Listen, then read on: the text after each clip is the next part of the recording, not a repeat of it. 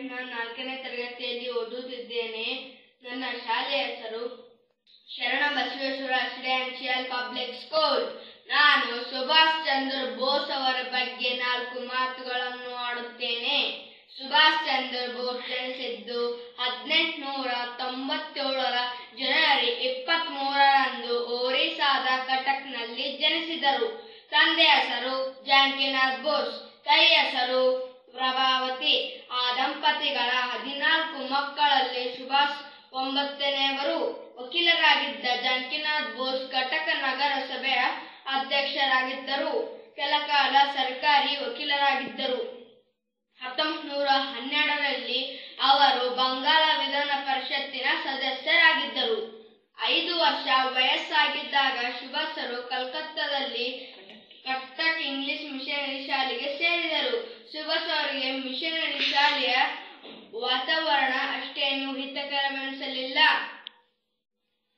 ಅವರು ಹನ್ನೊಂದು ವರ್ಷ ವಯಸ್ಸಾಗಿದ್ದಾಗ ಕಟಕ್ನಲ್ಲಿಯೇ ಇದ್ದ ರೆವೆನ್ಸ್ ಕಾಲೇಜಿಯೇಟ್ ಶಾಲೆಗೆ ಸುಭಾಸರು ಸೇರಿದರು. ಆ ಭಾರತೀಯ ಶಾಲೆಯ ಪರಿಸರ ಸುಭಾಸ್ ಅವರಿಗೆ ಉಲ್ಲಾಸದಾಯಕವಾಯಿತು. ಸುಭಾಸರು ಕಲ್ಕತ್ತಾದಲ್ಲಿ ಅವರಿದ್ದ ಮನೆ ಎದುರಿಗೆ ಪ್ರತಿನಿತ್ಯ ಒಬ್ಬಳು ವಯಸ್ಸಾದ ಭಿಕ್ಷುಕಿ ಮುಳುಗಿ ಕುಳಿತಿದ್ದಳು ಹೀಗೆ ಸುಭಾಷರು ಮನೆಗೆ ಬರುವಾಗ ಹೋಗುವಾಗ ಅವಳ ಕಣ್ಣಿಗೆ ಬೀಳುತ್ತಿದ್ದಳು. ಅವಳ ಮುಖಭಾವವನ್ನು ನೋಡಿ, ಅವಳ ಬಟ್ಟೆಯನ್ನು ನೋಡಿ ಸುಭಾಷ್ ಅವರಿಗೆ ತೀವ್ರ ಸಂಕಟವಾಯಿತು. ಅಂತವರು ನನ್ನ ಸಮಾಜದಲ್ಲಿ ಇರುವಾಗ ನಾನು ಐಷಾರಾಮವಾಗಿರುವುದು ಸರಿಯೇ ಎಂಬ ಅಪರಾಧಿ ಭಾವನೆ ಅವರಲ್ಲಿ ಒಕ್ಕುತ್ತಿತ್ತು. ಅವಳ ಹೊಟ್ಟೆಗೆ ಒಂದಿಷ್ಟು ಊಟ, ಒಂದಿಷ್ಟು ಬಟ್ಟೆ ಇಲ್ಲದಿರುವಾಗ ನನಗೆ ಭೋಗ ಜೀವನ ನಡೆಸಲು ಯಾವ ಅಧಿಕಾರವಿದೆ ಎಂಬ ಚಿಂತಿತರಾಗಿದ್ದರು. ಸುಭಾಷ್ ಮನೆಯಿಂದ ಮೂರು ಮೈಲಿ ದೂರದಲ್ಲಿದ್ದ ಕಾಲೇಜಿಗೆ ಕಾರಿನಲ್ಲಿ ಹೋಗಿ ಬರಲು ಮನೆಯಲ್ಲಿ ಬೇಕಾದಷ್ಟು ಕಾಸನ್ನು ಕೊಡುತ್ತಿದ್ದರು. ಸುಭಾಷರು ಕಾಲ್ನಡಿಗೆಯಲ್ಲಿ ಕಾಲೇಜಿಗೆ ಹೋಗಿ ಹಣವನ್ನು ಉಳಿಸಿ ಭಿಕ್ಷುಕಿ ಮುದುಕಿಗೆ ಬಂದರು ಅವರು ಹತ್ತೊಂಬತ್ ನೂರ ಹತ್ತೊಂಬತ್ತರಲ್ಲಿ ತತ್ವಶಾಸ್ತ್ರ ವಿಭಾಗದಲ್ಲಿ ಬಿಎ ಪದವಿ ನಂತರ ಹತ್ತೊಂಬತ್ ನೂರ ಹತ್ತೊಂಬತ್ತರಲ್ಲಿ ಸೆಪ್ಟೆಂಬರ್ ಹದಿನೈದರಂದು ಐಸಿಎಸ್ ಪರೀಕ್ಷೆಗಾಗಿ ಇಂಗ್ಲೆಂಡಿಗೆ ಪಯಣ ಬೆಳೆಸಿದರು. ಅವರು ಹತ್ತೊಂಬತ್ ನೂರ ಇಪ್ಪತ್ತರ ಸೆಪ್ಟೆಂಬರ್ನಲ್ಲಿ ನಾಲ್ಕನೇ ಸಾನ್ವಿಗರಾಗಿ ಐಸಿಎಸ್ ಪದವಿ ಪಡೆದುಕೊಂಡರು.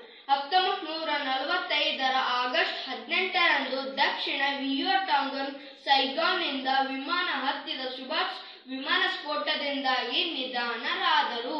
Jai Hind Jai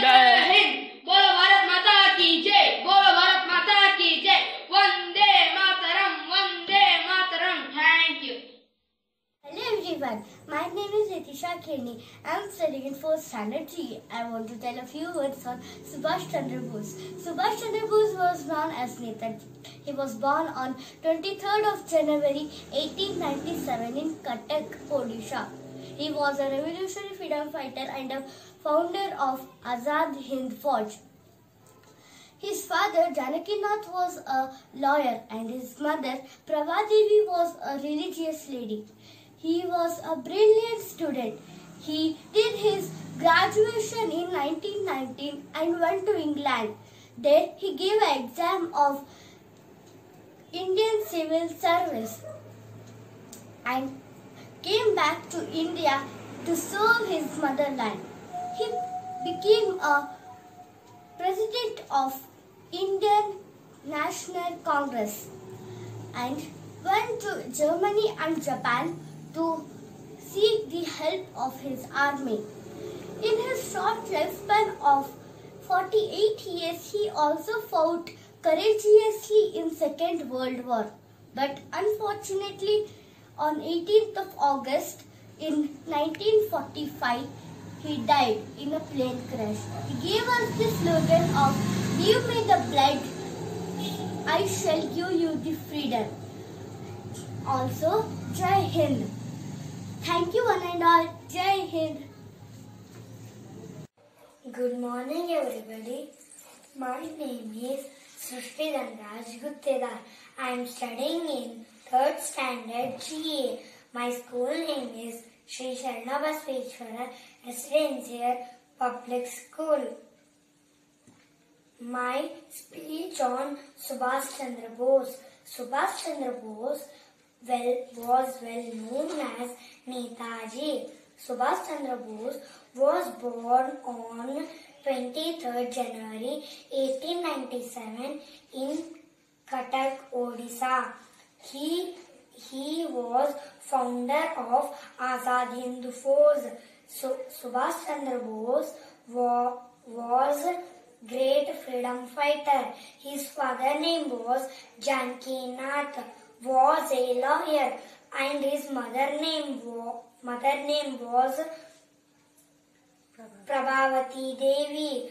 Was Prabhavati Devi was a religious lady and he was a brilliant brilliant student he did his graduate graduates graduation in 1990 then he went to england there he passed Indian Civil Service exam, but he returns to India to serve motherland.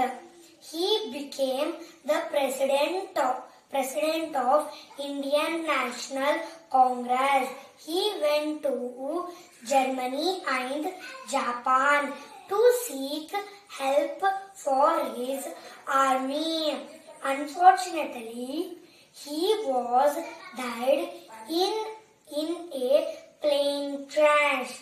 He gave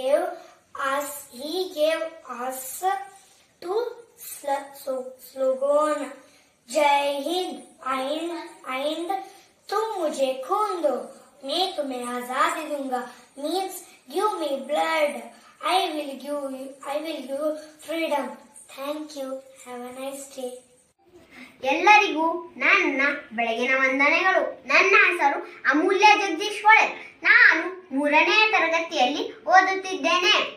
ನನ್ನ ಶಾಲೆ ಹೆಸರು Shri Sharana Basaveshwara residential public school. ನಾನು ಇವತ್ತು ನೇತಾಜಿ ಸುಭಾಷ್ ಚಂದ್ರ ಬೋಸ್ ಅವರ ಬಗ್ಗೆ ಹೇಳುತ್ತೇನೆ ಸುಭಾಷ್ ಚಂದ್ರ ಬೋಸ್ ನೂರ ಇಪ್ಪತ್ತ್ ಮೂರನೇ ಜಯಂತಿಗೆ ನಾವೆಲ್ಲರೂ ಸಾಕ್ಷಿಯಾಗಿದ್ದೇವೆ. ಸುಭಾಷ್ ಚಂದ್ರ ಬೋಸ್ ಒಂದ್, ಹದಿನೆಂಟುನೂರ ತೊಂಬತ್ತೇಳರ ಜನವರಿ ಇಪ್ಪತ್ತ್ ಮೂರರಂದು ಕಟಕ್ನಲ್ಲಿ ಜನಿಸಿದ್ದರು. ಇವರು ನೇತಾಜಿಯಲ್ಲಿ ಜನಪ್ರಿಯರಾಗಿದ್ದರು. ಸುಭಾಷ್ ರವರು ಒಬ್ಬ ಸ್ವತಂತ್ರ ಹೋರಾಟಗಾರರಾಗಿದ್ದರು. ಸುಭಾಷ್ ರವರ ತಂದೆ ಹೆಸರು ಜಾನಕಿ ಬೋಸ್. ಮತ್ತು ತಾಯಿ ಹೆಸರು ಪ್ರಭಾವತಿ ದೇವಿ. ಇವರು ಕಾನೂನು ಅಸಹಕಾರ ಚಳುವಳಿಯಲ್ಲಿ ಭಾಗವಹಿಸಿದ್ದರು. ಸುಭಾಷ್ ರವರು ಐಸಿಎಸ್ ಪರೀಕ್ಷೆಯಲ್ಲಿ ಉತ್ತೀರ್ಣರಾದರು. ಬ್ರಿಟಿಷರು ಅವರಿಗೆ ಕೆಲಸ ಮಾಡಲು ಅವಕಾಶ ನೀಡಲಿಲ್ಲ. ಗಾಂಧಿ ಅವರು ಹಿಂಸಾತ್ಮಕವಾದಿಯಾದರೆ ಸುಭಾಷ್ ಅವರು ಸುಭಾಷ್ ಅವರು ಹಿಂಸಾತ್ಮಕ ಮೂಲಕ ಮೂಲಕವೇ ವೇಗವಾಗಿ ಸ್ವತಂತ್ರ ದೊರೆಯಲು ಸಾಧ್ಯ ಎನ್ನುತ್ತಿದ್ದರು. ಇವರು ಹತ್ತೊಂಬತ್ತು ಮೂವತ್ತೊಂಬತ್ತರಲ್ಲಿ ಭಾರತೀಯ ರಾಷ್ಟ್ರೀಯ ಕಾಂಗ್ರೆಸ್ ಅಧ್ಯಕ್ಷರಾಗಿದ್ದರು. ಹತ್ತೊಂಬತ್ತು ನೂರ ನಲವತ್ತೆರಡರಲ್ಲಿ ಆಜಾದ್ ಹಿಂದ್ ಫೌಜ್ ಅನ್ನು ಸುಭಾಷ್ ರವರು ಸ್ಥಾಪಿಸಿದರು. ಇವರು ಹತ್ತೊಂಬತ್ತು ನೂರ ನಲವತ್ತೈದರ ಆಗಸ್ಟ್ ಹದಿನೆಂಟರಂದು ವಿಮಾನ ಅಪಘಾತದಲ್ಲಿ ನಿಧನ ನಿಧನರಾದರೆಂದು ಹೇಳಲಾಗುತ್ತದೆ. ನಮಗೆ ಪಡಿ ನಾವು